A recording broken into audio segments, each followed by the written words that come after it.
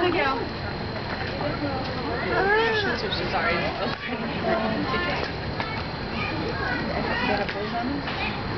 Bye-bye, Abigail. Hi. Tomorrow.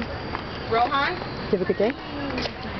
What'd you like best about today? If you could just get a bag for Rohan. What'd you like best about today? Did you have a good time? But just something Yeah? You wanna come back tomorrow? Yeah, so it's not Okay, good.